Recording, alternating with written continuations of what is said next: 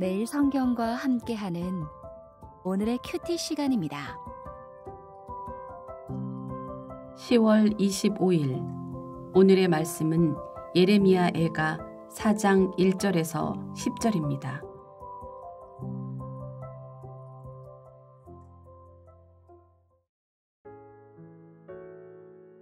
슬프다. 어찌 그리 금이 빛을 잃고 순금이 변질하였으며 성소의 돌들이 거리 어기마다 쏟아졌는고 순금에 비할 만큼 보배로운 시온의 아들들이 어찌 그리 토기장이가 만든 질 항아리 같이 여김이 되었는고 들깨들도 젖을 주어 그들의 새끼를 먹이나 딸 내 백성은 잔인하여 마치 광야의 타조 같도다. 젖먹이가 목말라서 혀가 입천장에 붙으며 어린 아이들이 떡을 구하나 떼어줄 사람이 없도다. 맛있는 음식을 먹던 자들이 외롭게 거리거리에 있으며 이전에는 붉은 옷을 입고 자라난 자들이 이제는 걸음더미를 안았도다. 전에 소돔이 사람의 손을 대지 아니하였는데도 순식간에 무너지더니 이제는 딸 내 백성의 죄가 소돔의 죄악보다 무겁도다. 전에는 존귀한 자들의 몸이 눈보다 깨끗하고 젖보다 희며 산호들보다 붉어 그들의 윤택함이 갈아서 빛낸 청옥 같더니 이제는 그들의 얼굴이 숯보다 검고 그들의 가죽이 뼈들에 붙어 막대기같이 말랐으니 어느 거리에서든지 알아볼 사람이 없도다. 칼에 죽은 자들이 줄여 죽은 자들보다 나음은 토지 소산이 끊어짐으로 그들은 찔림받은 자들처럼 점점 쇠약하여 가미로다. 딸 내 백성이 멸망할 때에 자비로운 부녀들이 자기들의 손으로 자기들의 자녀들을 삶아 먹었도다. 예레미야 애가 사장은 길었던 예루살렘의 포위와 성을 함락한 바벨론 군인들에 의해 사람들이 무참히 살육되고 시드기야 왕이 포로로 잡혀감으로써 끔찍함이 절정에 이르렀던 참상으로 돌아갑니다. 고통은 끝나지 않았습니다. 미래에는 소망이 있을지 모르지만 현재는 줄어들지 않는 고통만이 존재합니다. 이러한 고통에는 마땅히 그 목소리가 부여되어야 하고 그 목소리는 사람들에게 우리에게 들려져야 합니다. 충격적인 반전의 이야기가 사장 전체에 스며 있습니다. 공동체 전체가 완전히 뒤집혔고 길바닥에 나뒹구는 쓰레기처럼 산산조각 난 채로 흩어졌습니다. 이것은 긴 포위 기간과 도성의 함락이 가져온 결과였습니다. 사장이 묘사하는 장면은 유대 사회에서 정상적이었던 모든 것이 폐기되었음을 전쟁으로 인한 기근이 사회적 신체적 운명을 극적으로 반전시켰음을 보여줍니다. 한마디로 인간의 모든 존엄성이 상실된 것입니다. 백성들은 순금에 비할 만큼 보배로운 이들이지만 깨진 그릇처럼 다루어지고 무가치한 질그릇처럼 버려졌습니다. 주민 전체가 쓰레기 취급을 당하는 것입니다. 하나님의 손으로 지음받은 이스라엘의 존귀함을 표현하기 위해 사용되던 토기장이와 진흙의 은유가 하나님의 심판 아래에서 그들의 무가치함을 보여주는 은유로 바뀌었습니다. 여기에는 모든 세대의 하나님 백성을 향한 엄중한 경고가 들어 있습니다. 우리가 그리스도 안에서 소유한 것, 그리고 그리스도 안에 있는 우리의 정체성이라는 존귀한 보석을 잘 간직하지 못하고 그러한 지위와 이야기에 합당하게 살지 못한다면 우리는 하나님께 그리고 정말로 하나님의 세상에 무가치한 존재가 될 위험에 처하게 됩니다.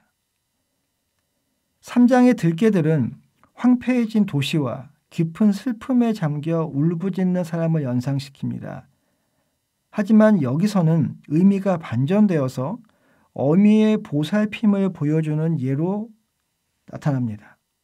반면에 유다의 어머니들은 알과 새끼를 버린다고 알려진 타조처럼 잔인했습니다. 어린아이들의 고통은 분명 악과 폭력이 가져오는 가장 악마적인 결과 중 하나일 것입니다. 이스라엘에서는 맛있는 음식이 하나님의 특별한 복 중의 하나라고 여겨졌습니다. 하지만 한때 그런 복을 누리던 자들도 길거리에서 처량하게 떠도는 신세가 되었습니다.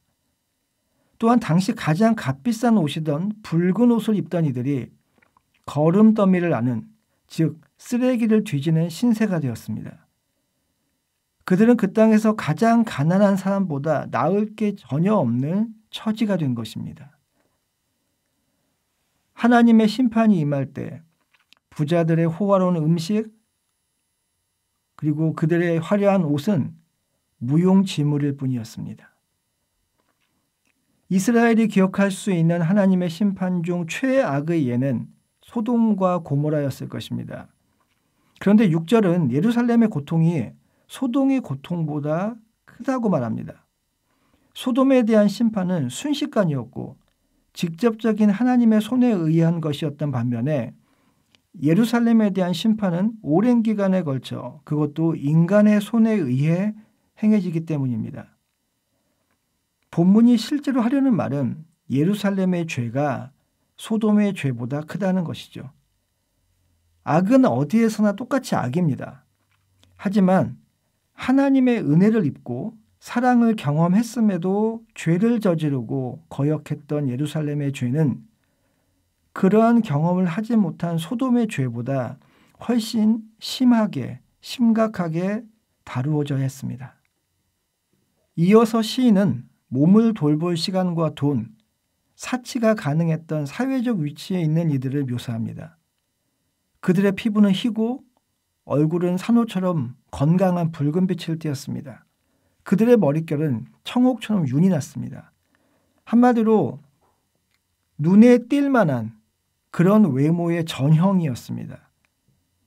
그런데 이들이 이제는 거리에서 알아보는 사람이 없을 정도가 되었다는 것입니다. 윤기가 흐르던 건강한 인간의 몸이 야위어서 쓰레기 더미를 뒤지는 해골로 천천히 변해가는 것은 또 다른 대조를 만들어냅니다. 그렇게 죽는 것보다 칼에 빨리 죽는 것이 낫게 여겨질 정도가 되는 것입니다. 세번역은 구절을 이렇게 옮겼습니다. 굶어 죽은 사람보다는 차라리 칼에 죽은 사람이 낫겠다. 다쳐서 죽은 사람이 먹거리가 없어서 서서히 굶어 죽어가는 사람보다 낫겠다. 10절은 우리로 하여금 긴 포위가 가져온 최악의 혹독함을 떠올리게 만듭니다. 단순히 아이들에게 음식을 주지 않고 소홀히 했던 것뿐 아니라 아이들을 삶아 먹은 것입니다. 상상하기도 힘들 정도로 잔인한 일을 자비로운 어머니들이 하고 있습니다. 어머니의 태에서 나온 자녀가 돌봄의 대상이자 요리의 대상이 될 수 있다는 것은 우리에게 충격적일 수밖에 없었습니다. 하지만 우리는 이 일이 신명기 28장 53절부터 53절에 열거된 저주 가운데 하나임을 떠올릴 필요가 있습니다. 그런데 그런 사람들을 가리켜 시인이 내 백성이라고 부릅니다. 어떻게 그럴 수 있을까요? 그들을 바라보는 시인의 시선에서 우리는 어쩌면 하나님의 시선을 볼 수 있습니다. 그들을 향한 시인의 눈물은 하나님의 심장으로부터 흘러내리는 눈물이었습니다. 시인의 감정은 하나님의 것이기도 했습니다.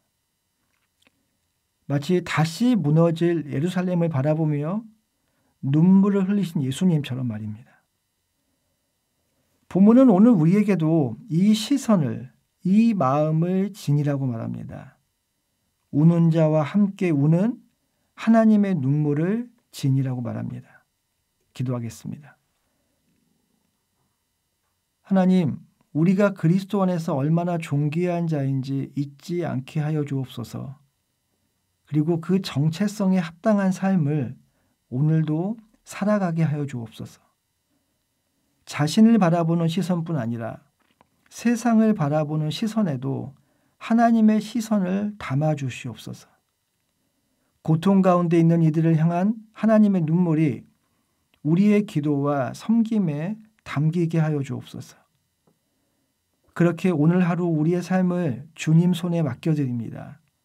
예수님의 이름으로 기도하였습니다. 아멘.